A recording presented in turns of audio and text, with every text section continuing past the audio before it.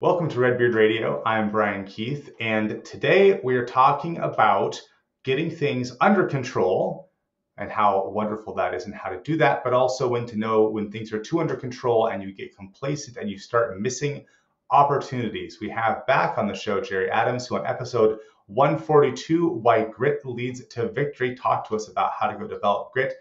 Jerry's new book is Men of Grit Strong as Steel. And while it's aimed at people wanting to think about masculinity, we're going to go and take some of Jerry's ideas and we're going to apply it to our businesses and really understanding that balance between you want to get stuff under control, but also you want to be out of balance enough to go and get those opportunities, how to tell the difference, and where to know what to work on. Jerry, welcome back to Redbeard Radio. You bet. Thank you, Brian. It's good to be back, and I'm going to enjoy this conversation. So it's fun to have a new book out there in the world. Well, tell us about that. That you didn't have a book, this book's only been out there for a month, and at some point you decided that what you were doing that was under control was no longer appropriate, and you were going to go break all your systems, break how you organize your life, break your schedule, break your sleep and your travel schedule to go do this book and then go do a book tour. How did you decide that what you were doing was not enough? Well, for me, I went down a path that I think a lot of men go down and it leads to this thing that we're going to talk about comfort and complacency. So I, I, would say for my journey you know i was going through life and i was checking off the list. I married the woman i wanted to marry. We bought the house that we wanted to buy. We started a family. You know you drive the cars you become successful in your career and you start making some money. And after a while comfort starts to set in because i think you know, a lot of times men, we come into life and we're very driven and we have this drive to go achieve all these things. We're driven, we find the woman that we want to marry and we're driven to pursue her. And then we get the girl. Then we decide, okay, it's time to have a, a family. It's time to go out there and grab that house and build that career. And you really start pushing yourself into a lot of things. And then what I see happen, and it happened to me, and and as I started uh, relaying my story to other men, I realized it happens to a lot of men. You get to this point where you sit back and you start to think about seeking comfort, and so you start looking at life as okay, I've tackled all these things. Now I'm comfortable. And that comfort leads to complacency. And that complacency it really kills the masculine soul. And what I mean by that is a lot of that drive and all of those things starts to settle. And I think that's really bad for men. It was bad for me. And what happened to me is my physical life started to suffer. And then you you really start to figure out the connection between the physical and the mental and the spiritual. And you start to see that when you're not physically fit, that uh, you don't have the energy that you had before. And so things start to slip. My marriage started to slip. My relationship with my son wasn't what it needed to be because I wasn't being the example that I needed to be. That example is really important in business. When you're leading a business, it's important to be the example to make good, solid decisions. And when you're tired and you're out of shape and you start to lose that discipline, you start to lose that edge. And that's where that comfort leads to complacency, and that complacency starts to kill those things that made you successful in life. How do I know which area to look at complacency and say this is bad? For example, I know what my ideal morning routine is. I know roughly when I get up, I know when I go to the gym, I know what I eat for breakfast. When you could look at that and you could say, hey, I put my morning routine in a box. And when I follow the algorithm of my morning, my odds of having a good day go up. And when I don't follow my odds of having a good day go down. So I look at that and I'd say, hey, I'm pretty comfortable. And not that the experience is comfortable, but I'm pretty comfortable that I have a routine. I know the more often I follow this routine, the more often I win. I have something similar for bedtime. I already know the algorithm. Are you saying that having that algorithm for different parts of your life that that is what is too comfortable because I think I already know it's good? No, not necessarily. I think the comfort is the piece that starts to allow things. In other words, here's the mindset that I started to have that I think a lot of men have. You know, I put all this effort and energy into work. Yeah. I come home and I think I deserve to rest. Yeah, I worked hard, man. Of course I deserve to rest. Yes. And the family, though, the family needs me. When I walk through the door, my leadership, the only thing that happens is I just change hats. I just swap hats. For me, I take off the hard hat from the steel mill of running a steel mill, and now I put on the hat of the husband and the father and I'm going to put my energy into those things. And so when you see these things in your life, they start to slip. That's the complacency that I'm talking about. It's what are the things that you value? And when you start to see those things slip, and what I found was for me was I wasn't a strong enough man across the board, body, mind, and spirit, to be the foundation that I needed to be to lead well. And that's where a lot of men find themselves. You know, when you're in that groove of chasing after the woman that you're going to marry and chasing after the career and all those things, you tend to you tend to take care of a lot of those things because you know they're essential to you being successful. But once you get those things, you kind of think, okay, I arrived. And that's the danger. I think the danger in life for us as men, and it can even be on the business side too, where you think, okay, I've achieved a certain level of success, I've arrived. And how many times do you see businesses that collapse because they relax? And they don't even see the competition coming because they've allowed this complacency to set in. And so for me, it's more about you know, you talk about that routine and everything. Even in that routine, there can be comfort. Yeah. And after a while, you're like, you know, if you talk about workout, it's like you got to mix that workout up every once in a while. I am so guilty of having the things that if I don't feel like doing anything, I have the things that I already know exactly what to do. I know what what weights to use. There's no thinking involved. I even have a do this, then do that. I I have the algorithm for the gym, which if I don't want to think, there's the default, right? And the default's not bad I am at the gym, I am getting stronger, I am progressively loading, but it's still a default. And then I occasionally switched up, and I don't know the names of all the technical gym things, but I went from a pulling a weight on a wire thing towards my face, and then it switched to turning around and then pulling it from behind my head in front of my head. And I'd cut the weight in half, and I was sore for days because it turns out while I was doing this one style of lifting a lot, and I was getting better and better at that, there was this other style that just kicked me in my butt right away. That's it. And, you know, I talk in my book, I have like four sections in the book a foundation of fatherhood. I talk about the fire of faith. I talk about the fuel of fellowship. And then I talk about the forge of the daily grind. And each one of these, they start these sections with something about steel making.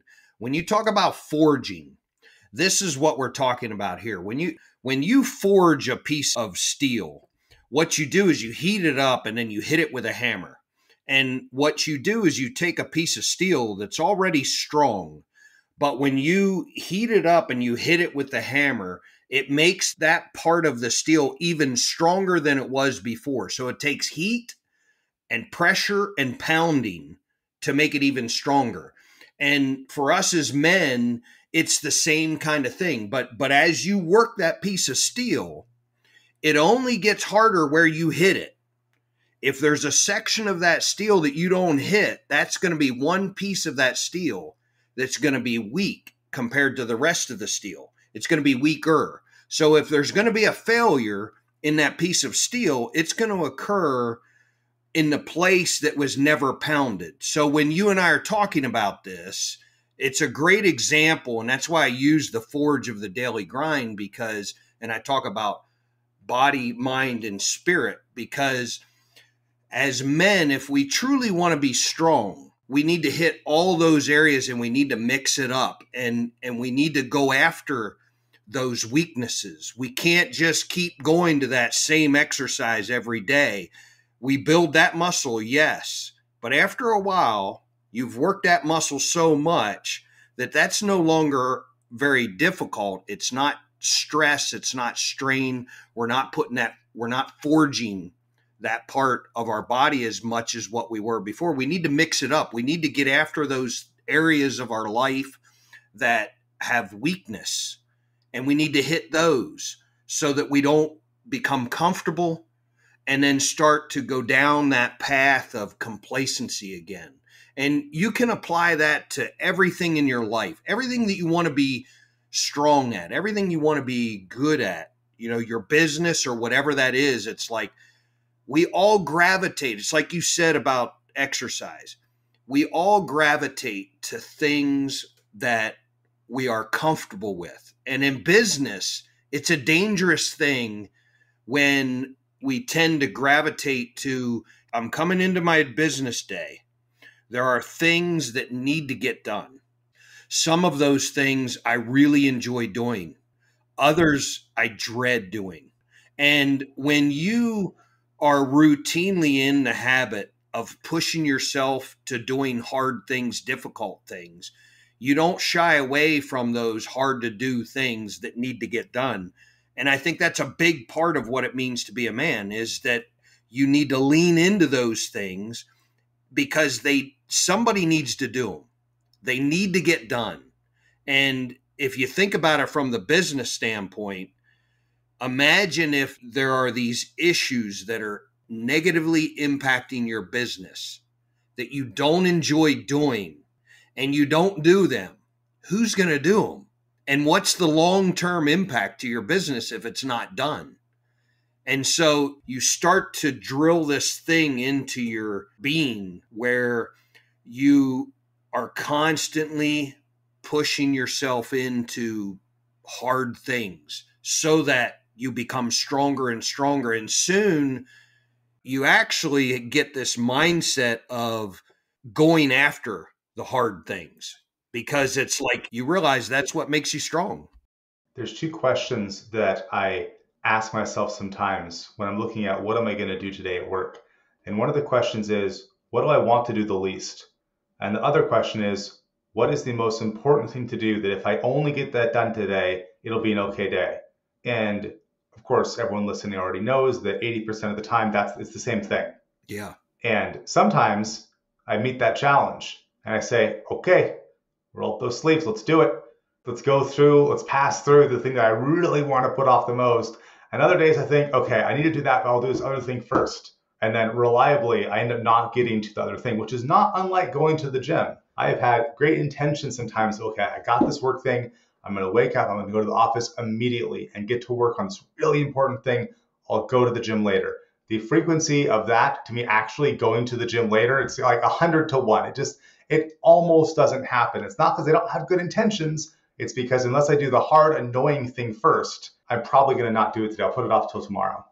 Yeah, I talk about that in in my book. I write about that because I tell this story about a time where um, it was over the summer. My dad went to work, and he would leave us jobs to do, and he and he left this job for me to mow the grass. And we had a little farm, and we had a lot of grass. And at the time, it, all we had was a push mower. I would mow part of the the grass. My brother would mow another part of the grass, and and over a couple days, it would take us a couple days to finish it. Well, he assigned me to mow the grass this one day. Well, it's funny. It sounds just like what you said. I got tied up into things that I wanted to do. And before I knew it, my dad came home and he walked up to me and he said, Son, you didn't mow the grass. And I was like, And I really didn't even have an excuse. He turned around, he went out to our barn. He filled up the mower with gas, started it. He didn't go in the house. He had worked hard all day.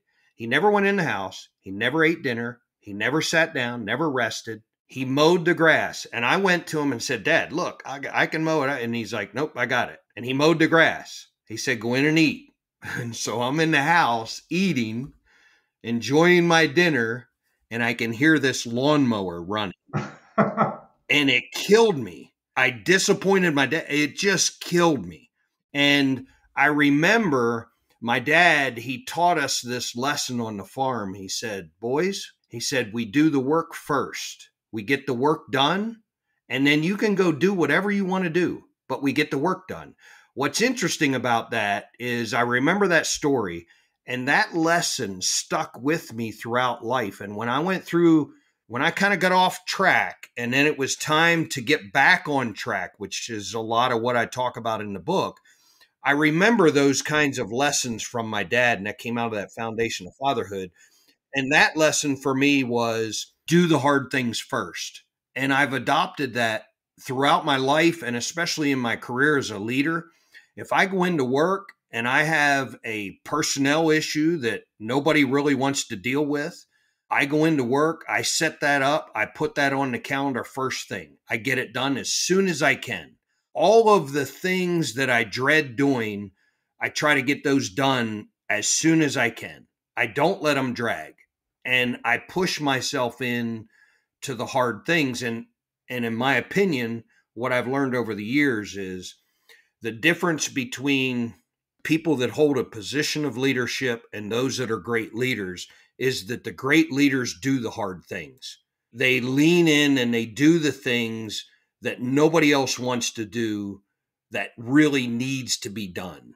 And um, those are the things that really distinguish the people that hold a leadership position versus those that truly lead, in my opinion. And it all goes back to a lesson that my dad taught me on the farm, and that was get the work done first, do the hard thing first, and then enjoy the rest of your day. And I'm still that way today, even if I got a project on the weekend.